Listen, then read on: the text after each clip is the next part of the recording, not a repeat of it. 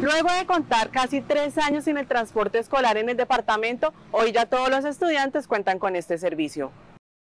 Durante tres años y a falta de transporte escolar, en el Bichá era cotidiano ver a los estudiantes en bicicletas, motos y hasta caminando largas distancias para llegar a los colegios y escuelas.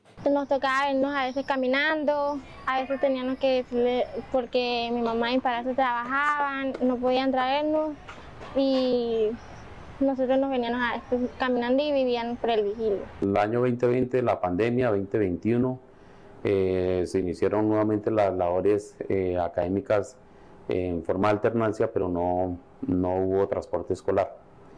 Para el 2022 ya se, se oferta el, el, el, contrato como tal. Eh, no hay quien, quien participe de esta licitación.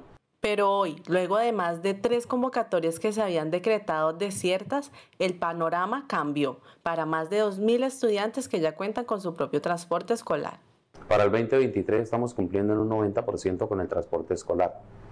Eh, todas las rutas fluviales, eh, Casuarito, Garcitas, Manajuare, Huaco, Cejal, están al 100% y en lo terrestre eh, nos falta solamente Juan de Dios en el municipio de Comaribo, Autobuses como estos ya se encuentran haciendo el recorrido tanto en zona urbana como rural, beneficiando no solamente a los estudiantes, sino también el bolsillo de los padres de familia.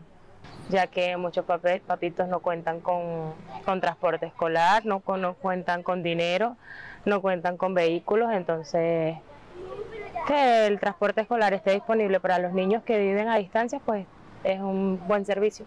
Los estudiantes, en especial quienes residen en zonas rurales, son los más felices con la activación del servicio. Terminaron las largas caminatas y las horas de espera.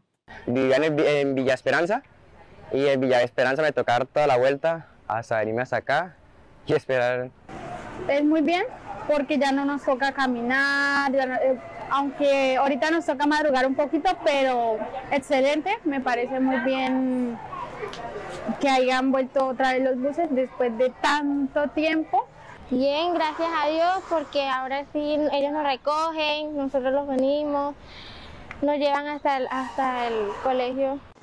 El servicio también incluye el transporte fluvial que reciben los estudiantes del corregimiento de Casuarito, un lugar apartado en donde las condiciones del terreno hacen más complicada la movilidad.